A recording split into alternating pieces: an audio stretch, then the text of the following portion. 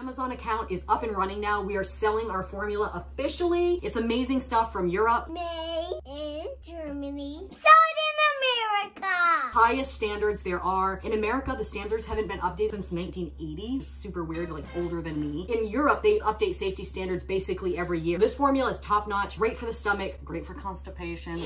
This is a great product. If you happen to want to purchase it and join us on our journey, then grab the link in the description. If you do and leave a review for us, send me a screenshot at vinandsori at gmail.com of your review after you have received the product. We will put your name in a hat. Song reviews are going to come out by some of the people that have left reviews. Don't forget to send us a screenshot of your review once you get the product. Now a word from our mascot dressed as a pirate, Foodgie. Ah! It's a deal of a deal. All right, guys, here we go. Electrical band Signs. This song was released by Lionel Record and hit number three on the chart. It is written by lead singer Les Emerson. This is a Canadian band, and from my knowledge, their only hit. The songwriter said it was inspired after seeing a beautiful scenery obstructed by billboard signs. Of course. Of course. Okay, so the name of the band is Five. Five man electrical band. The name of the song is Signs. Whoops. Losers. Yeah. Losers. Let's do it. Go.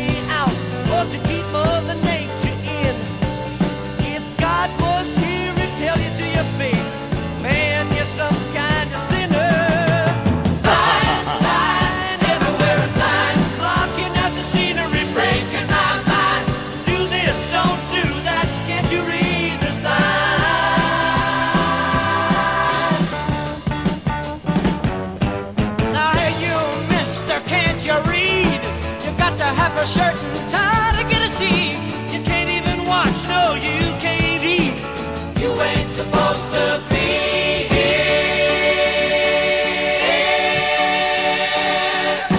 Sign said you got to have a membership card to get inside.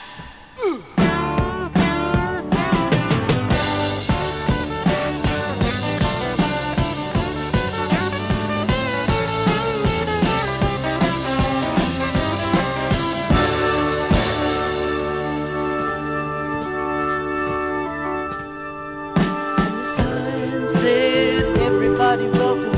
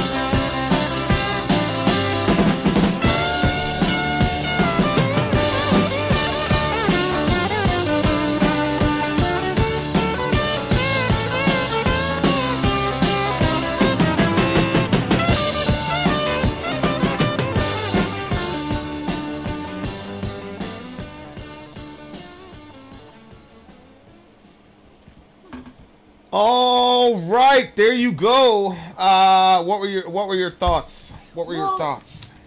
I've had like kind of like similar thoughts to this. Um, when I see like no trespassing signs or like when people close off access to water. Yeah. Um, and I'm like, ah, I don't. Okay, listen, I'm just gonna show you the two sides of me. So there's the one side of me that I've got some I, questions. I don't own any private property and I don't own any waterfront. So I'm like, wow, look at these people.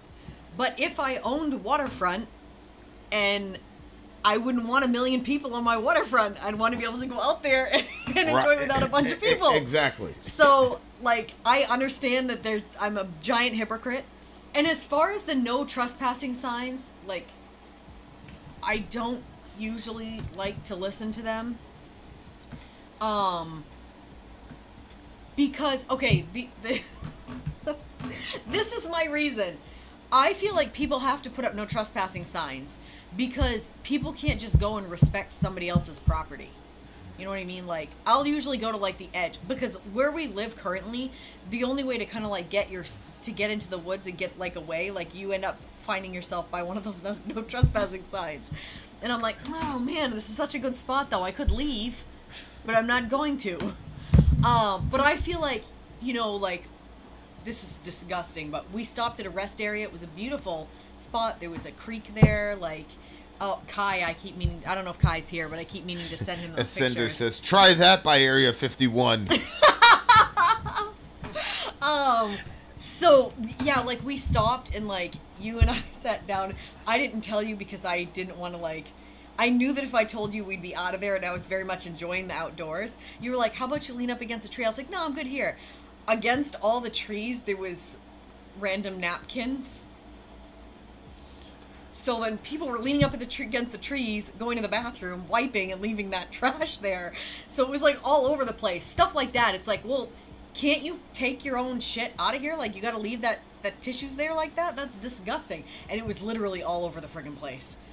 Um, so like stuff like that. Like that's why people say stay off my property because people can't respect somebody else's somebody else's place. You know what I mean? Like they got to go in there, they got to mess with stuff, they got to do whatever. yeah, it goes to the entire concept though of private property. Do you believe in the concept of private property? I, I mean, the root argument is, since we we don't generate material, then we're by default squatters. So, how can you hold a moral right to material that you didn't that you've simply foraged for yourself, not that you've Wait, what? What what the fuck are you saying? What? like how could land, right? You Yeah. didn't create the land. No. So how does land become yours? You didn't make it. So how did how how, how does that ownership get transferred to you? Oh, because you have to pay for it. Pay on what? What do you mean? You have to buy the land. You have to pay taxes on the land. Buy from you have to- who? you buy it from the government. How does the government own land? Well, they collected it all up. They're a human being just like you. yeah, I know, but So why do I have to buy it from the government? because supposedly the taxes and the money that goes, it goes to the greater good. So it's like, right, you want to give a chunk of money for the greater But good. how did they come to own the land in the first place so that I have to buy from them? I mean, Okay, so the concept of private property is not as simple as you think it is. And what Americans call private property is also not as simple as what you think it is. So, th- those are real serious questions. They have like real, real moral implications. Like a lot of, uh, a lot of what we call that we default to in quote society are just useful fictions like I'm pretending that there's some sort of transcendent value to the American dollar. It's like, oh, we have the gold standard. Well, why is gold important? Uh, the only reason gold is important because you and I are pretending that there's something about that chemical compound that makes that thing better than a rock. yeah. That's a fiction. It's it's not inherently better than anything. We just we just put a story on top of it. So now you and I are going along with the same fiction. Yeah. Untrue. It wouldn't be on that uh, Webb. What do you call that thing? That thing that they just shot out into outer space. They wouldn't have capped it all with gold if, if it was just the same as mica. Yeah, so Ascenders saying personal property is a good thing. So he's he's Well- arguing for personal property um, based on Yeah, I don't have Its a utility. problem with personal property as long as you know, like we can spread out. But I do think that there, I do have a problem with like, um, if you want to go to water around here, you have to pay, and I don't think that that should be the case. I think that you can have like portions of water that's like private property, but I think that your state parks and all that stuff, like I shouldn't have to pay $120 to get a state pass to be able to go to those state parks. Like we pay enough in taxes, that should be covered. Um, if you know if you're in that same, especially if you're if you live in that town. Um, so yeah, not a fan of that. Yeah, but what is what does that have to do? All I'm saying, like the concept of property ownership is is another. It's just a useful fiction that functions to. To me, I see the overall function of private property as a way to curb human sinfulness. So it's a, it's a, it's a, it's a necessary evil, I think, because we don't love each other. So you need concepts like private property. But it's a fiction. Nobody owns any of this stuff. But we just go along we just go along with the fiction that the person actually owns the thing because they, you know, jump through whatever little hoop that's supposed to get you the gumball at the end. But it's you don't have an inher- I don't believe you can establish that there's an any inherent right or moral demand for private property. But I do think it's it's a very efficient way of handling human sinfulness. Flesh that out a little bit more. What do you mean? You say, "Oh, this happened in my house. You did that to me in my house." Well, what is it about your house that you know, it's it's uh he crossed the threshold of uh what do you call that in the wall? Drywall. So he he crossed this threshold of drywall and wood known as your door. So now all of a sudden what he did is even more aggravated than if he were to do it outside. That's because there's a fiction about your house that it's some sort of sacred that it's some sort of sacred domain. When it's really not it's non different from outside of your door. But but that that house is a metaphor for hey, um, I have a space. This is like this is like home free, like when you're playing freeze tag and you have a base that everybody respects. There's nothing about that base that makes it a force field other than everybody's agreeing to the same fiction. So that's what private property functions as. It functions as a base. Like you can't kill me here, you can't violate me here, you can't rob me here, yada yada yada yada yada. In fact, you don't even belong here. Right. Right. Right. So so again, that's that's a useful fiction though. I would rather have that than not because I don't see anything as efficient at curbing human human sinfulness and sinful inc- inc- inclinations in that. Yeah. I see what you're saying. I don't know why, but the concept of you like saying anything about private property just really got me annoyed. Like, What do you mean? I don't know. Like, it's weird because I don't think that if I think that you like the idea also of having that because you I mean you've said it a bunch of times. Let somebody try to come in here. Well, yeah, that's not in the context of like I, I, I personally wouldn't be offended at people on my yard or whatever, but I do have a very very big struggle with any, if anybody were to threaten you guys. Yeah, but I don't I don't do very I don't do very good when I feel you guys are threatened. I don't want people on my yard because people make me feel uncomfortable. Well, yeah, if I saw something make you uncomfortable, then I would, you know, whatever. Like I said, I believe in I believe in private property, but I don't believe that I don't believe in private property as like some right that you're born with. I believe in private property as a useful fiction because it does function Yeah. to curb human sinfulness. And we have seen when people do not have housing or property that they are they are much more exposed to human sinfulness in the elements than than, than not. So Yeah. that's why I believe in it. Yeah. That's why I believe it should have like we should continue to have it. But of course, if we don't know that it's a fiction, then you end up with situations like these Hollywood people buy this property for a week in you know, they have some tradition that they live in this house for a week in May and then they go off and never see it again for another 365 days. And you've got a whole bunch of other people that are now exposed to the elements and other sinful human beings because you, that property is now yours. So, but even though you only use it for a week, and then literally it's these people still need to sleep on the street. That's where if you don't recognize this is just a fiction, he doesn't really own this land. And we were just using this fiction to keep sinfulness at bay. But now this house is not serving the function of our fiction. So now we need to come back to the drawing board with a person like that and say, listen, what you're doing is not helping the collective because you're only here for a week, but we're here for 52 of them motherfuckers. Mm-hmm. And so you, you and us need to make a decision on how we're going to handle this. And how would that get handled? Oh, if I was the government, I'd simply say all this land is ours because that means I have the military. Like if you don't want to compromise with me, I'd simply say all this land is ours and you can rent it out to us for a week. That's what I'd say. I if I had a homeless population there and you were that greedy and we tried to negotiate with you and you didn't want to negotiate, I would just take it. Cuz I don't believe that you have a right to that. Wow. So I would just take it and and, and then we, then you'd compromise after that. You okay? You're saying. Wait. You're saying if that's the only land available.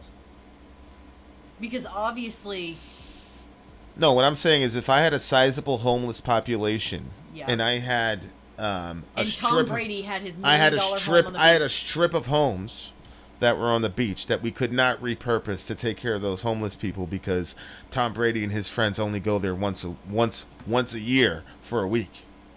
So all that property's eaten up for a guy for one week. So I would I would talk to them and I would say this is not going to work because this is our country. So we're playing this fiction, right? When I say this is our country, what I'm saying is we have a military, you don't. So either you find a way to compromise about that or we're just going to take the we're going to take the land and we'll rent it out to you once a, once a year. Yeah. That's I- what I'd do. I hear what you're saying. I just disagree with you. Remember that whole the vanishing at the Cecil Hotel? Stuff like that. Like you don't even know who these homeless people are. You're just gonna put them up in the place by the beach. What do you think that that's gonna do to your community? I didn't say we put them up in a place by the street. I said repurpose it. So whether that's renting out the land so that the city can make money so that we could take that money and house people or whatever, there's a million things you could do with it. But what you can't do with it is use that to help homeless people if Tom Brady and his friends are only going to be there one week out of the year. I think that there's a lot of places that Your commitment to capitalism is so high, you tell those people, man, fuck you guys, sleep on the street. No, Tom Brady has this for a week. No, I just think that if So what would you do if I- you were in control of that country. I literally said I don't believe that the only place available is the house on the beach. Again, I didn't say that. I didn't say that. I didn't say we're going to move the homeless people in there. What I said was they're eating up property that could be repurposed to benefit those people. As I said, you could open it to the public, rent it out, whatever, but those monies could be used to be help poor people. We're we're completely But what? So you're you're saying let Tom Brady have that property, that land, etc. he's paying for it. for one for one and for one of week. his taxes. so no, this is a different country. Huh? I told you this is a Okay, different I don't know country. what you're saying. Say it again.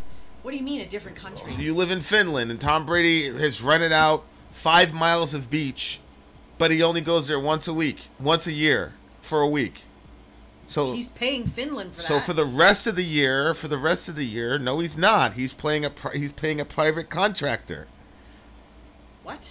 He's paying a private contractor. How does Finland get the money? I'm a rich guy in Finland. I sold Tom Brady the land, and he goes there once a, once a year. It doesn't matter how many times he goes. He still has to pay taxes for the year. No, he doesn't. Why doesn't he? Is This he is renting it? I don't know anything about Finland's. He taxes. buys it cash. Yeah, and they don't have to pay property taxes. For No, he's an American. So, so but but uh, for, forget that. The taxes are not going to solve the homeless problem. So you got five miles of private land owned by Tom Brady. He only frequents it literally once a year, and you've got a whole bunch of homeless people in that area. He bought the land. What are you gonna do? You just gonna take it from him? I'm saying I would take it from him.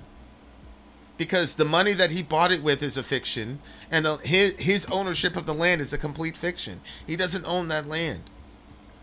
He bought it with money that he and I both agreed on was valuable when the money is not valuable at all. As a matter of fact, now the money that he bought is literally a computer program.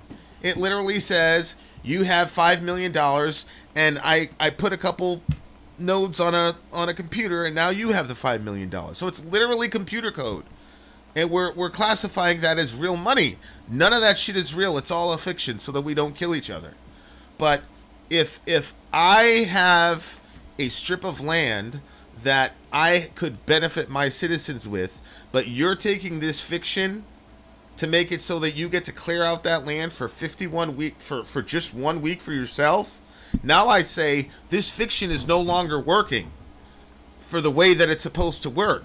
So what we're going to do is we're going to take this cuz you don't really own the land and we're going to repurpose it so that where we are we don't have this homeless population.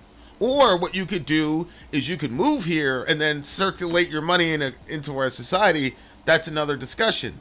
But you're not going to have all this land so that you can come here for a week while we've got a homeless population. I would never do that. I would never allow that. There's a homeless population everywhere. I'm So you talking don't about believe- I'm talking about those specific dynamics. That kind of hyper capitalistic everything is about meism, that's my line. If you have that kind of capital and you're only going to frequent the house for a week, but you have this sense of ownership of the earth that because you have that much capital, you should be able to do reserve that spot while homeless people are completely exposed to the elements, like that's insane to me. That kind of authoritarianism is insane. It's a you, you I have more material than you, therefore I can tell you where to put your body. That's authoritarianism. That's what a that that's what that is. I'm Tom Brady. I have I have accumulated more material things than you. Therefore, I can tell you where you can move your body and where you can't move your body. Because I've bought this piece of land. It belongs to me. So now there's an invisible force field against low material owning people like you. You go over there. And I just say that that's that's a crazy kind of authoritarianism I can't support. I think that that's crazy. I must be missing something.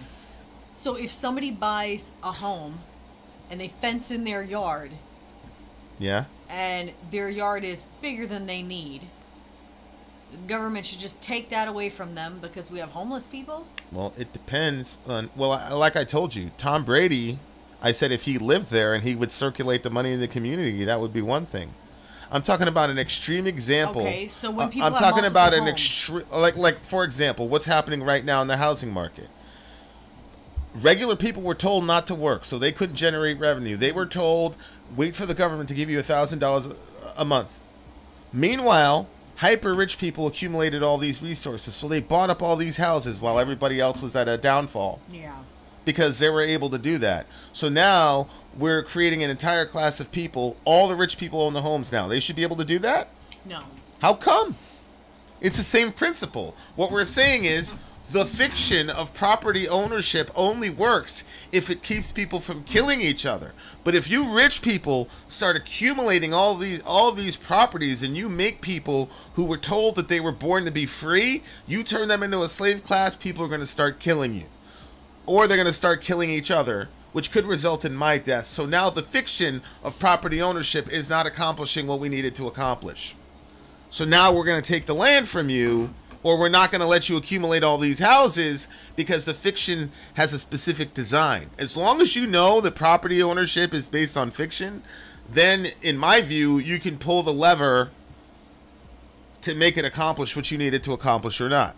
But when you miss the idea, when you miss the, the knowledge that all of that is a fiction, that it's all bullshit. If you don't understand that, if you think property ownership is actually a real thing that has like ontology in the world, then then yeah. Then it gets then it gets bad. That's my opinion. Anyway, um uh I really like the song. Uh it's a 9.3 for me. Um, a, a nine even for me.